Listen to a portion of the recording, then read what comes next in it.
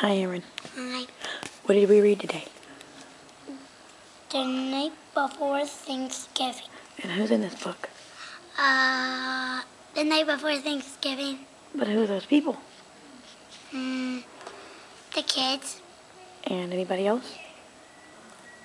grown-ups, and uncles and grandmas. And what happens in the book?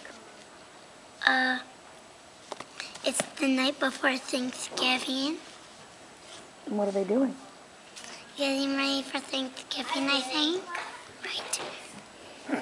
Okay. And what happens on Thanksgiving?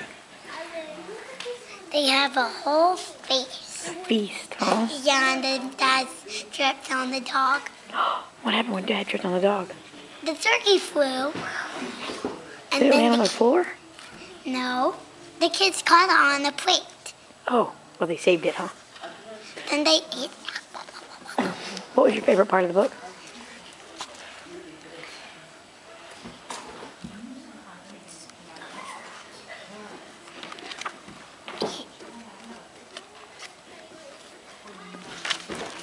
And what's happening here?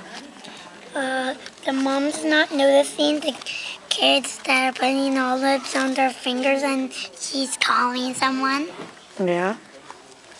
And how many stars do you want to give this book? I got new stars on the phone for a library.